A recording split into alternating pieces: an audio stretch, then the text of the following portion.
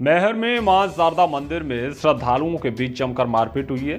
सतना ज़िले के मैहर माँ शारदा मंदिर में आज सुबह करीब 10 बजे के लगभग श्रद्धालुओं के बीच जमकर मारपीट हुई है। मारपीट में दो परिवारों की महिला और पुरुष दोनों ही शामिल हैं।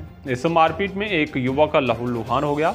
मिली जानकारी के अनुसार आज छुट्टी का दिन होने के कारण बड़ी संख्या में श्रद्धालु मेहर में माँ शारदा के मंदिर में दर्शन करने के लिए पहुँचे थे। लाइन में लगने के दौरान धक्का मुक्की हो गई, जिसके कारण महर के माँ शारदा के दर्शन करने आए दो परिवार आपस में उलझ गए।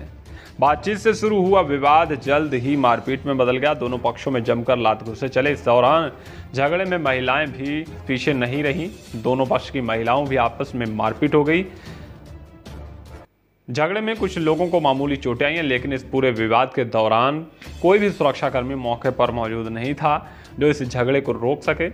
हालाँकि बाद में अन्य लोगों ने बीच बचाव किया, तब कहीं जाकर दोनों पक्ष शांत हुए।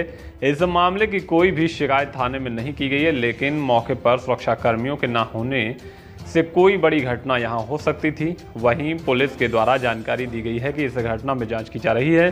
जो भी दोषी होगा, उसके खिलाफ कड़ी कार्रवाई की जाएगी।